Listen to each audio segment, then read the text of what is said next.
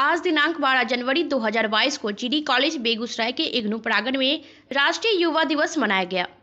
इस मौके पर जीडी कॉलेज बेगूसराय के प्रधानाचार्य डॉक्टर अवधेश कुमार एवं अंग्रेज़ी विभाग अध्यक्ष और इग्नू के नोडल अधिकारी प्रोफेसर कमलेश कुमार, राजनीति विज्ञान के प्रोफेसर जेपी शर्मा, एनएसएस के कार्यक्रम अधिकारी डॉक्टर सहर अफरोज, प्राचीन भारतीय इतिहास के डॉक्टर कुंदन कुमार सभी ने संयुक्त रूप से माल्यार्पण कर स्वामी विवेकानंद जी को उनके पुण्यतिथि के उपलक्ष्य में राष्ट्रीय युवा दिवस के अवसर पर माल्यार्पण किया। मौके पर प्रधानाचार्य ने कहा कि विवेकानंद हमारे प्रेरणा स्रोत हैं।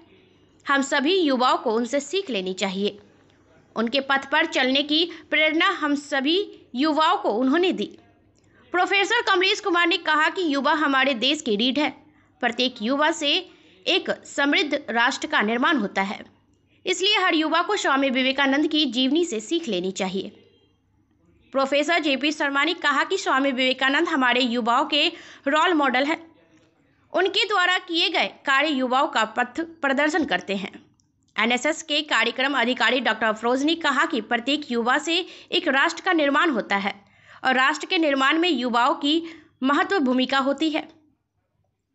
इसलिए प्रत्येक युवा स्वामी विवेकानंद की जीवनी से अपने आप को जोड़े। और उनकी जीवनी से सीख ले। मौके पर एनएसएस के वरिष्ठ स्वयंसेवक अनुराग कुमार ने कहा कि उठो, जागो और तब तक न रुको जब तक लक्ष्य की प्राप्ति न हो। उन्होंने कहा कि स्वामी विवेकानंद हमारे प्रेरणा स्रोत हैं। हम सभी युवाओं को उनसे सीख लेनी चाहिए और उन्हें अपने जीवन में आत्मसात करना चाहिए। मौके पर वरिष्ठ स्वयंसेवक अनुराग कुमार, एनएसएस उपाध्यक्ष सोनू कुमार, नीतीश विवेक तोहिद फारूक शिव आकृति, अंजलि, नूतन, इरशाद, साधना, सिमरन, सारिया, आशिया, गुलिस्ता सहित दर्जनों स्वयंसेवक मौजूद थे। बीएनपी न्यूज़ के लिए बेगूसराय से ही संवाददाता शिवम कुमार की रिपोर्ट। आपको मालूम होना चाहिए, भारतवर्ष में अभी पैंसठ प्रतिशत की आबादी हमारा युवा है। आप समझ सकते हैं।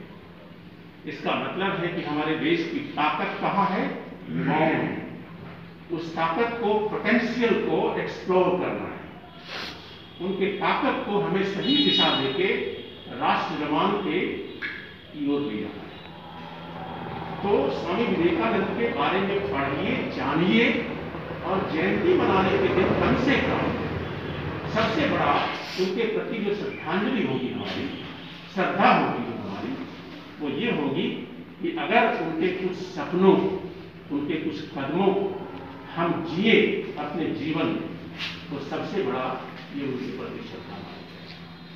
अगर आप उनके कुछ साधनों को, कुछ उनके किए हुए कृत्यों को अगर आप अपने जीवन में उतारने की कोशिश करते हैं सबसे पहले तो आज के दिन हम अपनी श्रद्धा और अपना सम्मान प्रकट करते हैं इनके प्रति।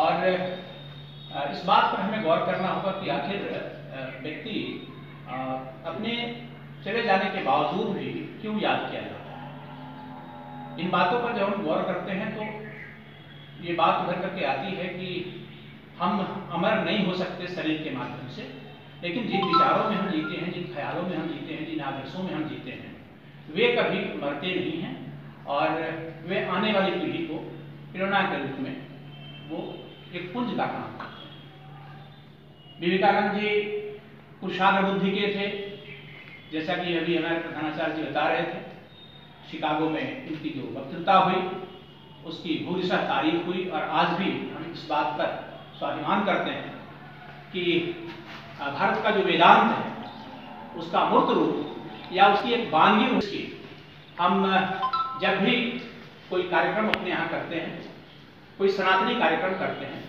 तो इस बात की घोषणा करते हैं कि धर्म की जय हो, अधर्म का नाश हो, प्राणियों में सद्भावना हो और विश्व का कल्याण यानी विश्व के सारे लोग हमारे भाई हैं, हमारे बंधु हैं, हमारे रिश्तेदार हैं। इस बात की पुरजोर घोषणा स्वामी विवेकानंद जी ने शिकागो जो उनकी धर्म धर्म संसद चल रहा था, इसमें उन्होंने किया। यानी वेदांत को उन्होंने मूर्त रूप देने की कोशिश की। वे भारतीय जो ज्ञान है भारत की जो सभ्यता है, भारत की जो संस्कृति है, उसके बहुत बड़े नायक और प्रचारक